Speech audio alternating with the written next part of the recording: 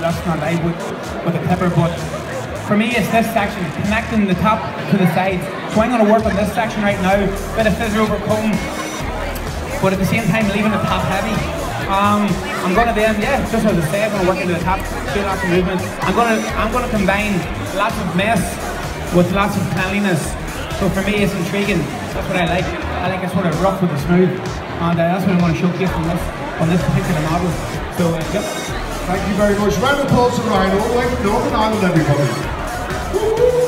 Right, Connor Taff, what's occurring? And so funny there, you know, I was using, I was using the feather razor a lot, so it's something that I added to my kind of everyday arsenal about 10 months ago maybe, and I wish I had done it a long time ago because with a feather razor, you